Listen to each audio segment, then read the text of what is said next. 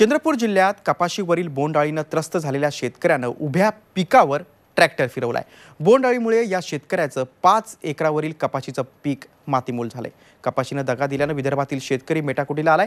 कर्ज काढून केलेला बियाणं खत फवारणीचा खर्चही वाया गेलाय. चंद्रपूर जिल्ह्यातील वांढरी गावातल्या महादेव पिदुरकर यांनी आपल्या पाच एकराच्या कपाशीच्या उभ्या पिकावर ट्रॅक्टर फिरवलाय. बोंडअळीनं त्यांचं पीक पार धुळीला मिळालं. पिकाला फक्त हिरवे बोंड आले. ते देखील अळीनं पुरते पोखरून टाकले. मागच्या वर्षी पाच एकर कपाशीतून त्यांना शंभर क्विंटल कपाशीचं उत्पन्न झालं होतं. मात्र यंदा बोंडअळीमुळे अवघा तीन क्विंटल कापूस हाती पडलाय. धक्कादायक बाब म्हणजे बोंडअळीचा प्रादुर्भाव दूर करण्यासाठी त्यांनी किमान दहा ते बारा वेळा कीटकनाशकांची फवारणीही केली. मात्र त्याचाही काहीच उपयोग झाला नाही. त्यामुळे आणखी कर्ज काढण्यापेक्षा त्यांनी उभ्या पिकावर ट्रॅक्टर फिरवून टाकला. बोंडअळीमुळे यावर्षी जवळजवळ दोन ते अडीच लाखाचं नुकसान झालेलं आहे.